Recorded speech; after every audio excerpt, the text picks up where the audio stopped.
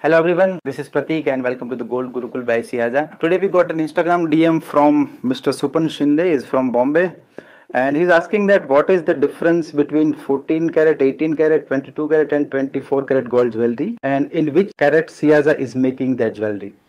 So let's understand this is by an example. So I have one 18 karat rose gold jewelry in my hand. So 18 karat is always consist 75% of pure gold and 25% of other metals. तो जैसे कि आप मान लीजिए इसका wait 10 ग्राम है तो इसका 75% यानी कि 7.5 ग्राम है वो प्योर गोल्ड है और 2.5 ग्राम अदर मेटल है राइट right. अभी हम वैसे ही समझते हैं कि 22 कैरेट जब 22 कैरेट्स की हम बात करते हैं तो इन 22 carats always 91.6 percent is pure gold and rest of the 8.4 percent is the other metal same आप बात करें 14 कैरेट्स की तो 14 कैरेट्स में 58.30 परसेंट प्योर गोल्ड होता है और बाकी का है वो अदर मेटल्स होता है। और दूसरी बात 24 कैरेट्स का भी आपने पूछा है तो 24 carats it means the pure gold but मैं आपको बता दूँ कि 24 कैरेट्स में कोई ज्वेलरी जनरली यूजुअली बनाता नहीं है, इसीलिए क्योंकि गोल्ड बहुत ही सॉफ्ट मेटल है। तो 24 कैरेट्स में जो भी ज्वेलरी बनती है, वो ब्रॉक होने के या टूटने के या मुड़ने के चांसेस बहुत ही हाई रहते हैं। तो कोई भी फैक्ट्री या कोई भी सोनार 24 कैरेट प्योर गोल्ड में ज्वेलरी अनलेस उसको स्पेशल ऑर्डर ना किया जाए, वो बनाना प्रीफर नहीं कर। Let's take a quick look 14 carat it means 58.33% of pure gold 18 carat it means 75% of pure gold 916 22 carat it means 91.6% pure gold, and 24 carat it means 100% of pure gold. And yes, more importantly, Siaza is making